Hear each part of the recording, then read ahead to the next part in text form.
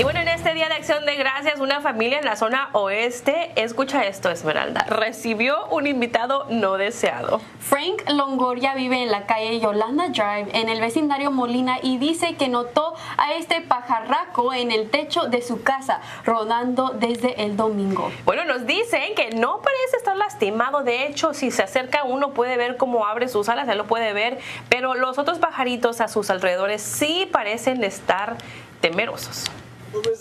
The mockingbirds, uh, Los sisontes están enojados con él y le grita, pero él se queda. Longoria no está seguro por qué este pajarraco no se ha ido de su propiedad, pero sí ha espantado a las palomas y bueno, pues eso sí que le agrada.